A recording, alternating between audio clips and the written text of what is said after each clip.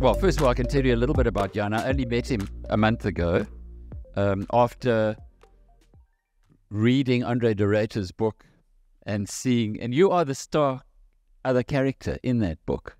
Uh, it's Andre, talks about Andre, and for sure, but he talks a lot about you as well.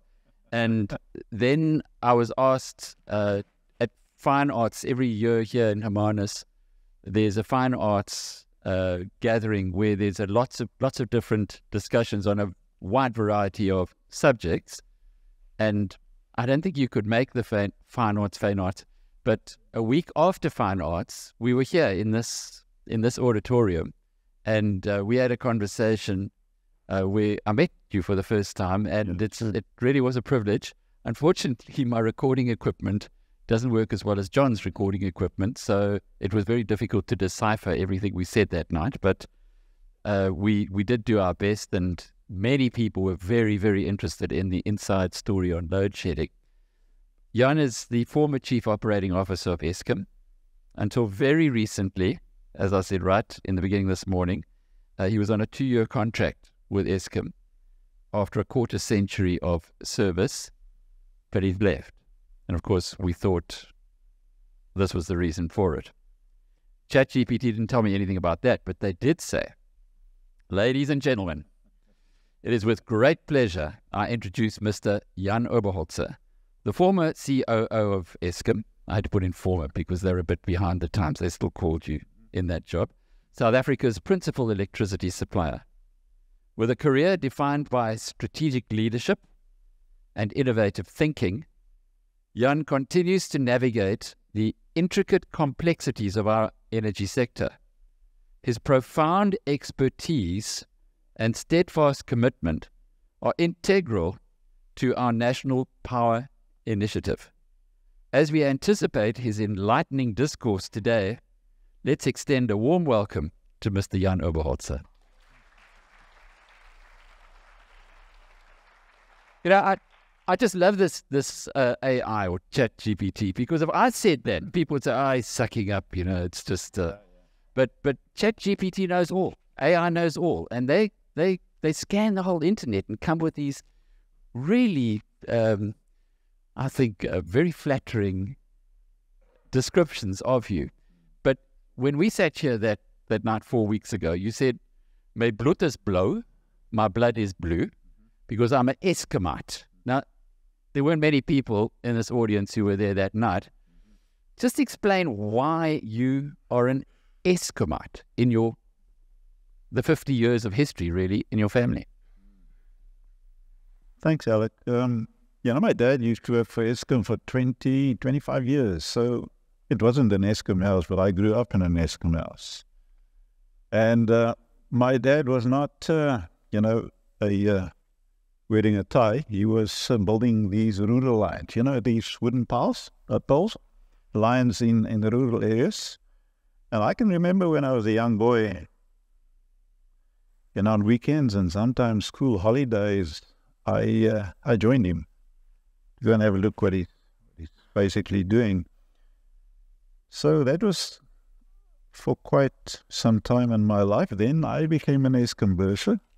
And at the time, the bursary was given to him, it wasn't given to me uh, because of his year's service at the time. And so I studied for a long time because rugby was more important than studies uh, the first couple of years. Um, but then I started, and then also, you know, at the time while you were studying, you did VAC work also at Eskom. And um, then I worked for Eskom for 26 years, going through the ranks.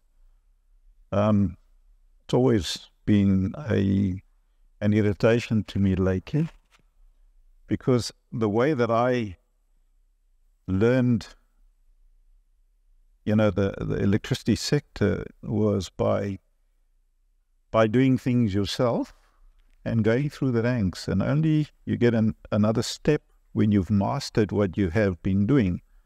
And I've always been saying, and especially lately, how do you get 20 years of experience? You've got to flip and work for 20 years, you know, and you need a, a coach and a mentor to help you. However, that was for 26 years. Then something happened. and I decided to have a look if the grass is really green outside there. So I became a contractor. And the CEO of the company, after some time, he said to me, "And You're not actually a contractor. Eh? I said, No, I'm not. That was in the time of the 2010 World Cup, so you understand why I wasn't a, a contractor. Um, because ethical value, my value of uh, ethical behavior is critical, and I'm not saying you know all contractors are are not uh, ethical, but some of them definitely not. Then I decided to to leave the contracting world. I then spent two years in Zambia and Lusaka while the family was back home. Quite nice. I really enjoyed it. Then I came home. Um, spent some time with a a company. Then I was approached by one of the board members to ask if I will be interested. That was in 2018 to to join Eskom again. I said yes, so I went through a, a recruitment process and I was given the tick. So the last five years, up until end of April, was the group chief operating officer. Um, then I was asked to stay behind for two two more years, which I initially said no. I agreed then, and then about two weeks ago, I decided, you know, to do something else. So, in a nutshell, that is why the blood is blue. Two weeks ago. Two weeks ago. Four weeks ago, you were committed. I was saying to people, don't worry, load shedding's going to end. Jan Oberholz is there. He's looking after this. He's looking after that. Very impressive guy. And then they all looked at me two weeks later and said, what? I'm sure this is why you invited me today. because everybody's tried to ask me that question. I've said no to all the interviews. Um, there are a couple of reasons, um, Alec. The most important one, I believe, is I believe I can add more value with my experience and my competence. And I believe my knowledge of South Africa, the industry, the electricity industry outside Eskom. I believe that Eskom, although it's going through some very tough times, um, and specifically in generation environment. That you know, because of load shedding, that's on everybody's mind. Um, the plans that we have put in place, I would guess, over the last few years, are the right ones. I believe that should Eskom follow this generation department uh, division, those plans diligently, and they really work hard, that will make a significant improvement. Make no mistake. Um, the board that the new board appointed end of last year, you know, they created a subcommittee called uh, the Board Operations uh, Performance Committee. I believe the oversight is there now to really implement those plans. Um, then, if you take my role as a consultant, it's hell of a difficult, you know, for five years telling people what to do. And if they don't do it, then you motivate them how to do it. And then all of a sudden, you know, to change to, to give advice, to tell them, please, I believe you should do it this way, didn't work for me. It really didn't work for me. So I, I really believe that it is time for me now to um, you know, outside Eskom.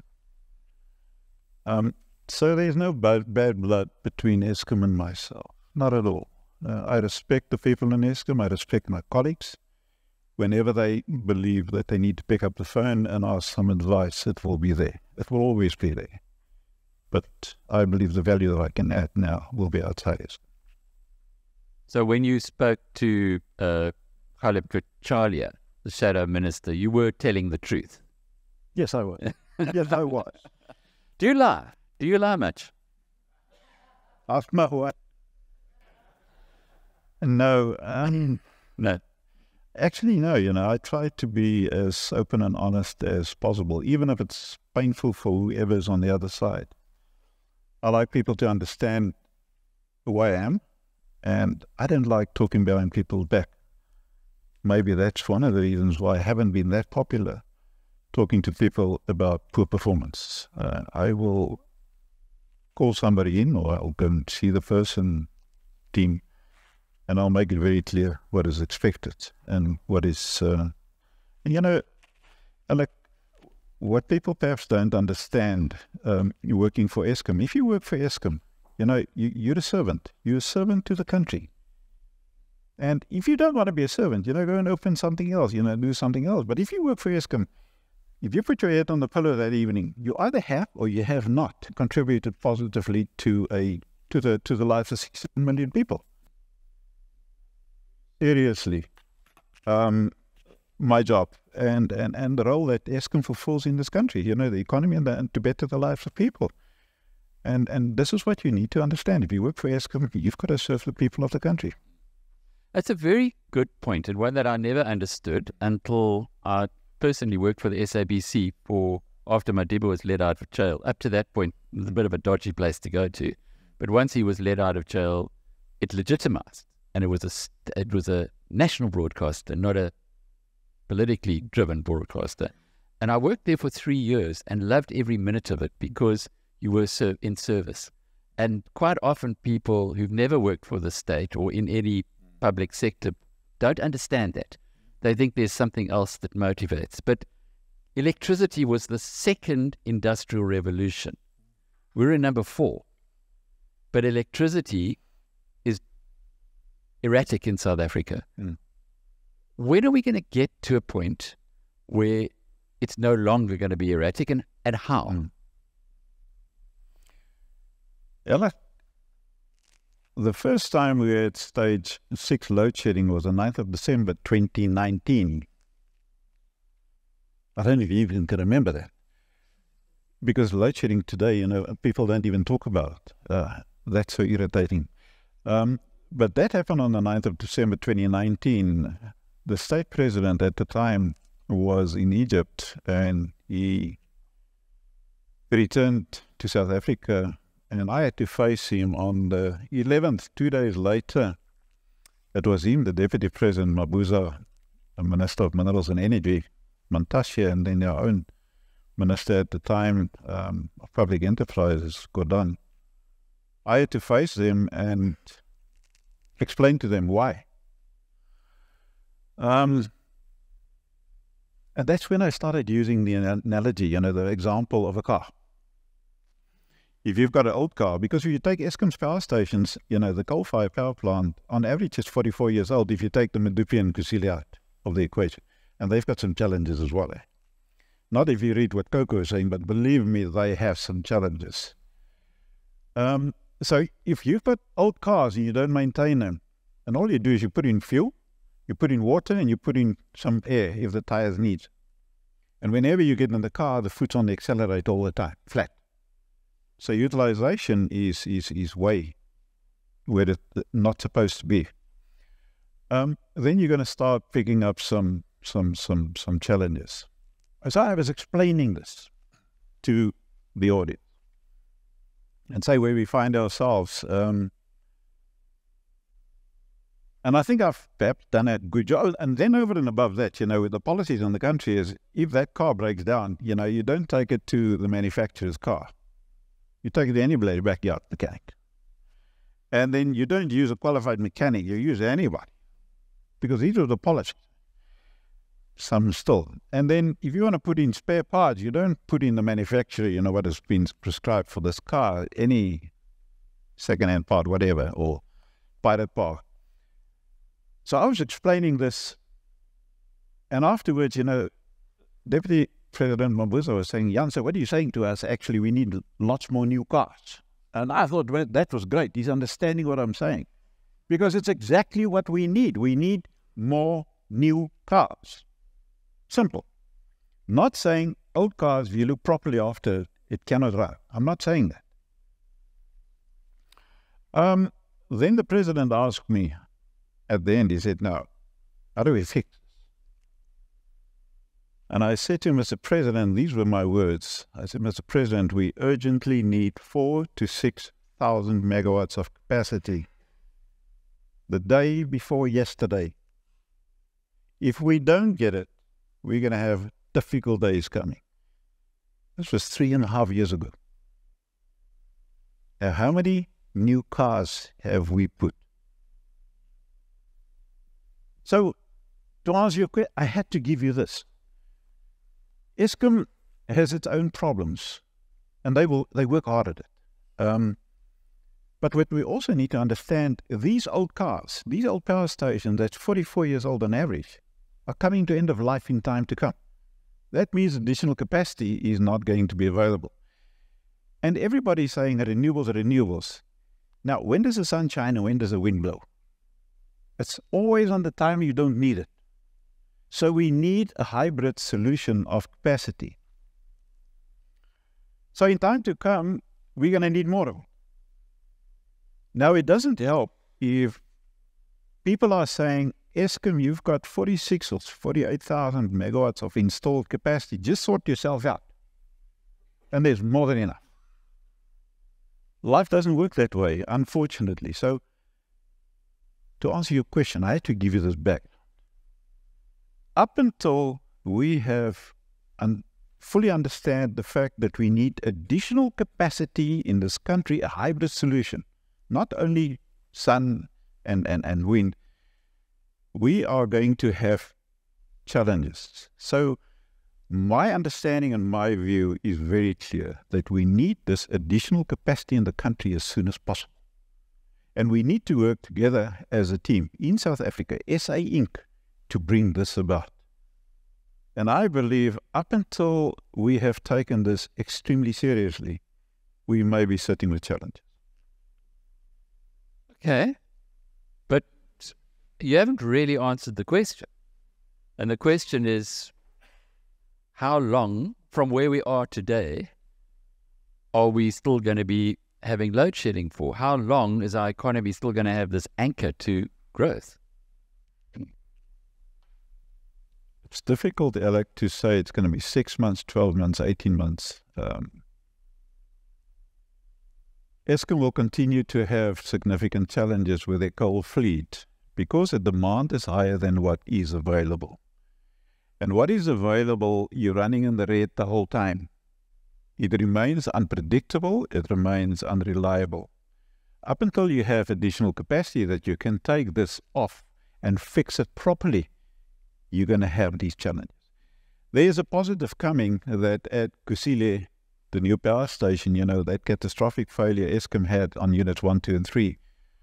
Um, I believe those three units will be back online. That's about 2,100 megawatts before the end of the year. So that's two stages of load shedding. Then the fire that uh, we had, or they had in in unit number five, that's in the process to be commercialized, another 700 plus megawatts. That will also be online before the end of the year, 2,800. So that is a close to three stages of load shedding. And then what we find is three years ago, Eskom made a decision to start actively but and focus to focus on, on, on, on maintenance on, on the units. Now slowly but surely I can see there is a positive contribution and performance on that investment and that needs to continue. Now come back to your question, this is about three to four stages of load shedding, and that's where we find ourselves.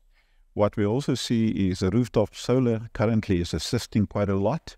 So I believe maybe maybe towards the end of next year, middle end of next year, you know, things will will turn out much better. Interesting, because the ANC I think are backing on making it the beginning of next year. But but uh, thank you, Jan, for that that insight. Last question from me, and then we're going to the audience. We have in the audience the Shadow Minister of Minerals and Energy. So if the pact wins the next election, James Lorimer has as good a chance as any of being the next minister of that portfolio. Mm. What would your advice to James right now be? Make sure you spend time on understanding the crystal ball. And the crystal ball is very simple if you think about it.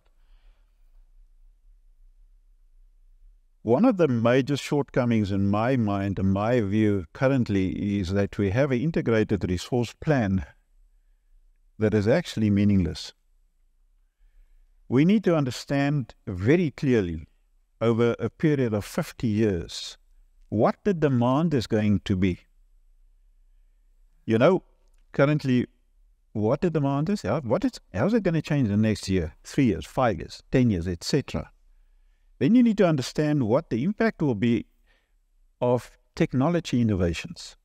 You need to understand, and people are not listening what I'm saying, you need to understand what the impact of climate change is going to be. You need to sit with the customers to understand how their manufacturing you know, processes will, will change so that you have a very good understanding on what the demand of the country is going to be moving forward. And you need to measure continuously and you need to adapt.